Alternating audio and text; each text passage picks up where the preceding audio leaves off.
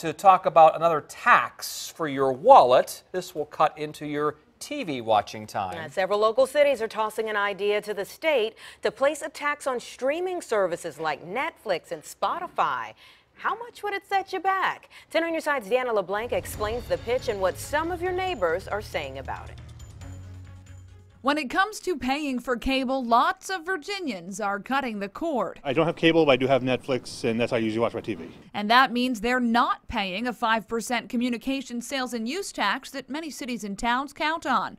That's why the Virginia Municipal League wants to extend that tax to include video and audio streaming, plus prepaid phones. So far, Newport News, Portsmouth, and Hampton back the idea. I think that's crazy. I feel like we already pay enough, so why tax it? Virginians see that current tax on things like cable, cell phone, satellite TV, and radio bills.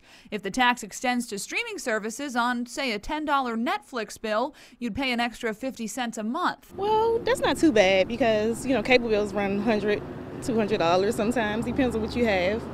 But yeah, 50 cents not bad for a tax and a Netflix. I can't cancel Netflix, I ain't got cable. I'm gonna have to pay the 50 cents. Hampton and Newport News tell us they each rake in about 10 million a year through the existing tax, but say that revenue is not going up. According to the Newport News officials, the proposed streaming tax would only bring in an additional 24 million statewide. Now, Delegate Steve Heretick, who represents Portsmouth, tells me he doubts this bill will get off the ground. He says it's tough for a standalone tax bill to get much backing. Usually, they have more success when wrapped into a larger comprehensive tax reform bill, and he doesn't see that happening this year. The legislative session, though, starts January 10th. I'm Deanna LeBlanc, 10 on your side.